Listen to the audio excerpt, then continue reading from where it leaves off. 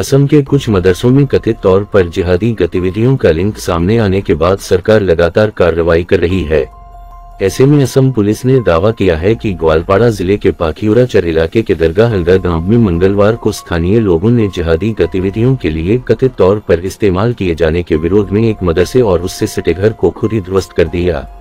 दरअसल असम पुलिस ने पिछले महीने 20 अगस्त को जिहादी गतिविधियों में शामिल होने के आरोप में माटिया थाना अंतर्गत तिलापारा नतुन मस्जिद के इमाम जलालुद्दीन शेख को गिरफ़्तार किया था। ग्वालपाड़ा पुलिस का दावा है कि जलालुद्दीन ने दरगाह हल्दा गाँव के मदरसे में दो फरार बांग्लादेशी नागरिकों को शिक्षक के पद पर रखा था। पुलिस के मुताबिक अमीनुल इस्लाम और जहांगीर आलम नामक दोनों संदिग्ध बांग्लादेशी लोग चरमपंथी संगठन अंसारुल्लाह बांग्ला टीम सदस्य थे और मदरसे से सटे एक टीन और बाँस से बने कच्चे मकान में रहते थे। जब उन दोनों संदिग्धों के बारे में छानबीन शुरू हुई तो वे वहाँ से फरार हो गए। पुलिस ने जलालुद्दीन के साथ उस मामले में मोरनोई थाना क्षेत्र के तिनकुनिया शांतिपुर मस्जिद के इमाम अब्दुल सुबहान को भी गिरफ़्तार किया है।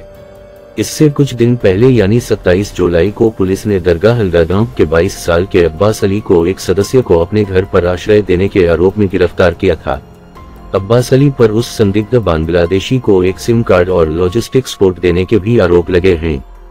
जब से दरगाह हल्गा गाँव के मदरसे में पुलिस को जिहादी लिंक मिला है, उस समय से गाँव के कई लोगों से पूछताछ की जा रही है। इस गाँव के कुछ लोगों का कहना है कि मदरसे में दो संदिग्ध बांग्लादेशी नागरिक को पकड़ने को लेकर जब से पुलिस कार्रवाई कर रही है, गाँव वाले बहुत परेशान हैं। पाखियूराचर इलाके में बसे इस गाँव की आबादी करीब पाँच सौ है, जहाँ सौ फ़ीसदी बंगाली मूल के मुसलमान बसे हुए हैं। ग्वालपाड़ा शहर से इस गाँव तक पहुँचने के लिए नदी पार करनी होती है। दरगाह हल्दा गाँव से ताल्लुक रखने वाले जहान अली बदला हुआ नाम ने मंगलवार को स्थानीय लोगों द्वारा गाँव के मदरसे को तोड़ने के बारे में बीबीसी से कहा, जब से गाँव के मदरसे में जहादी गतिविधियों के आरोप लगे हैं और कुछ लोगों की गिरफ्तारी हुई है, उस समय से यहाँ के लोग काफ़ी परेशान हैं। यहचर इलाके में बसा एक बहुत छोटा सा गाँव है। यहाँ लोग इतने पढ़े लिखे नहीं है। ज़्यादातर दिहाड़ी मजदूरी और किसानी का काम करके अपना गुजारा करते हैं।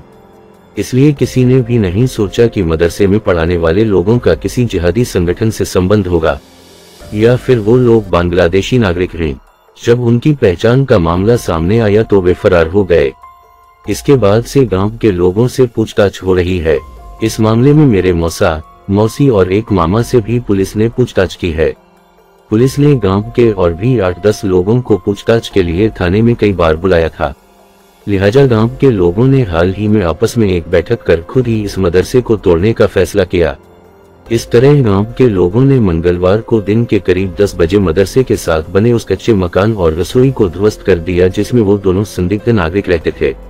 एक सवाल का जवाब देते हुए जहान अली कहते हैं, हम गाँव वाले किसी भी जिहादी का समर्थन नहीं करते।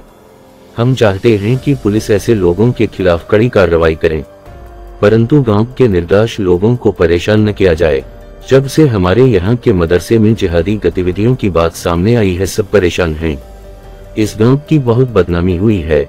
लिहाजा गाँव वालों ने इन तमाम परेशानियों से छुटकारा पाने के लिए खुद ही मदरसे और इसमें बने घर को तोड़ दिया।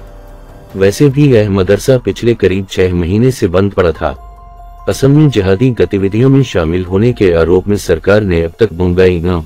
बारपेटा और मोरी गाँव जिलों में तीन मदरसों को ध्वस्त कर दिया है। वहीं पुलिस ने अलकायदा भारतीय उपमहाद्वीप और अंसारुल्लाह बांग्ला टीम जैसे चरमपंथी संगठनों के लिए काम करने के आरोप में एक बांग्लादेशी नागरिक समेत सैंतीस लोगों को गिरफ़्तार किया है। हालाँकि सरकार ने मदरसों को तोड़ने के जो आदेश जारी किए हैं, उनमें निर्माण को गैरकानूनी और मानव निवास के लिए संरचनात्मक रूप से कमज़ोर और असुरक्षित होने का कारण बताया है। ग्वालपाड़ा ज़िले के दरगाह हल्दा में मदरसे जैसे इस्लामिक शिक्षण संस्थान को स्वैच्छिक रूप से गिराने का यह पहला उदाहरण है। दरअसल जिला प्रशासन ने पिछले सप्ताह इस मदरसे को गिराने के लिए नोटिस जारी किया था। ऐसी चर्चा है कि प्रशासन के लिए भी इस अतिक्रमण को हटाने के लिए बुलडोजर लेकर इस चर इलाके के गाँव तक पहुँचना आसान नहीं था। इस पूरे मामले में बात करते हुए ग्वालपाड़ा ज़िले के पुलिस अधीक्षक वी. राकेश रेड्डी ने बीबीसी से कहा, उस गाँव के मदरसे में जो दो शिक्षक पढ़ाते थे, वो दोनों बांग्लादेशी नागरिक थे और जिहादी थे। हमने उस मामले में जलालुद्दीन को गिरफ़्तार किया था। गाँव में जिस मदरसे को वहाँ के लोगों ने कल तोड़ा है, उसमें प्रशासन की कोई भूमिका नहीं थी। जब वहाँ के लोगों को पता चला कि गाँव के मदरसे में जलालुद्दीन जिन दो लोगों को शिक्षक बनाकर लाया था, वो बांग्लादेशी थे और जिहादी थे तो लोगों ने स्वेच्छा से ही उस मदरसे और वहाँ बने घर को ध्वस्त कर दिया। पुलिस की कार्रवाई के डर से गाँव वालों द्वारा मदरसे को तोड़ने के एक सवाल का जवाब देते हुए पुलिस अधीक्षक रेड्डी ने कहा, ऐसी कोई बात नहीं है। लोगों ने मदरसे को स्वेच्छा से ही तोड़ा है। बाकी जगह जो मदरसे टूटे हैं वो अन्य ज़िले के हैं, उस पर मैं कोई प्रतिक्रिया नहीं दे सकता, लेकिन इस मदरसे को तोड़ने को लेकर प्रशासन की कोई भूमिका नहीं थी। बल्कि गाँव के लोगों ने एक मज़बूत संदेश देने के लिए ऐसा किया कि वे अपने इलाके में ऐसी कोई भी देश विरोधी ताकत का समर्थन नहीं करते। पुलिस अधिकारी की माने तो ग्वालपाड़ा ज़िले में सौ से अधिक निजी मदरसे चल रहे हैं और उनकी टीम मौजूदा मामलों की जाँच कर रही ताकि आगे आवश्यक कार्रवाई की जा सके। इस बीच मदरसों को तोड़ने की कार्रवाई के विरोध में All Assam Minority Students Union के सदस्यों ने गुवाहाटी में धरना प्रदर्शन किया। असम के मुख्यमंत्री हेमंत बिस्वा शर्मा को भेजे गए एक ज्ञापन में संगठन ने कहा कि प्रशासन द्वारा तुच्छ आधार पर धार्मिक संस्थानों को नष्ट करने से मुस्लिम समुदाय की भावनाओं को गहरा ठेस पहुँची है।